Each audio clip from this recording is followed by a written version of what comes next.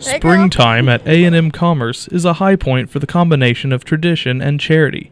One annual event has students donating more than just their time and money. The Kappa Delta Chi sorority teamed up with the Kappa Alpha Order for their annual spring blood drive, sponsored by the American Red Cross. KD Chi member Thalia Sanchez says that by combining their efforts, they do more good. Since there's always somebody that's that's needing blood, and it's awesome that to know that three uh, one pint of blood can just save three lives, and it, to me that's amazing. It's a quick and easy process for anyone who wants to donate, as long as you're over the age of 17 and over 110 pounds. Just one pint of blood can save three lives.